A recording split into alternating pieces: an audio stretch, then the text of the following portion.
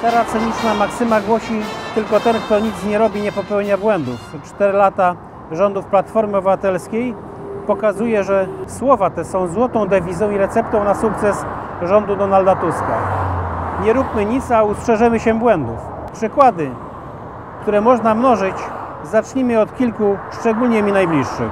Niedawno za sprawą mediów informowałem opinię publiczną, że w ustawie kurujących pojazdami jest błąd, który spowoduje, iż od 2012 roku nie będzie można w Polsce przeprowadzać egzaminów na prawo jazdy kategorii A. Stanie się tak, ponieważ w ustawie za sprawą niechlujności e, rządowych e, prawników e, zniknął rozdział poświęcony kierujących pojazdami. A to w praktyce oznacza, iż w przyszłym roku nie będzie można zdawać egzaminu na co? Na jazdę na motocyklu. Przykład drugi.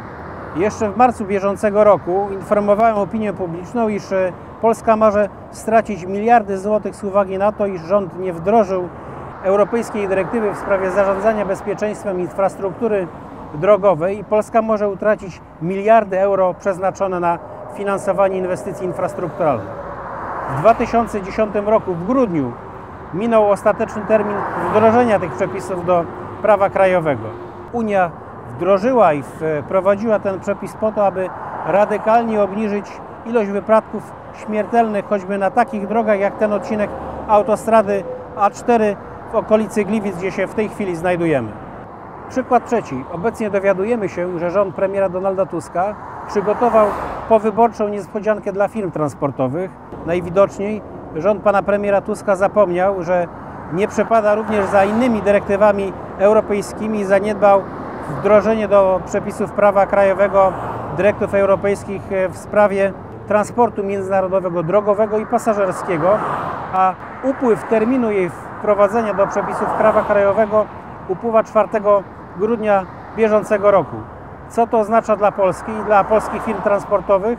Każdy przewoźnik, któremu wygasną licencje po 4 grudnia 2011 roku, nie otrzyma nowej licencji, gdyż nie będzie posiadał certyfikatu klasyfikacji zawodowych i nie będą mogli ci przewoźnicy wykonywać usług w zakresie międzynarodowego transportu drogowego. Jeżeli polskie firmy nie będą posiadały aktualnych licencji, ich miejsce mogą zająć zagraniczne firmy posiadające odpowiednie papiery. Skutkiem tego rządowego zaniedbania rządu premiera Donalda Tuska będzie prawdopodobnie zmniejszenie w Polsce ilości firm transportowych, co spowoduje zwiększenie stawek w eksporcie, a to odbije się na cenach w produktach na półkach sklepowych. Brak wprowadzenia rozporządzeń unijnych może zmusić przedsiębiorców do reorganizacji firm, ale przede wszystkim do zwolnień pracowników. To już kolejne zaniedbanie tego rządu we wprowadzaniu przepisów europejskich do prawa polskiego. Nie nazwę tego już inaczej jak patologicznym lenistwem. Obserwując sposób rządzenia rządu premiera Donalda Tuska, jestem przekonany, że opisane przeze mnie przypadki to tylko wierzchołek góry lodowej, powstałej ni mniej, ni więcej tylko z wieloletnich zaniedbań rządu Platformy.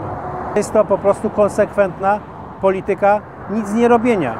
A swoją drogą, jeśli premier Donald Tusk nie wprowadza zachodnich norm Unii Europejskiej, to jakie po prostu chce wprowadzić?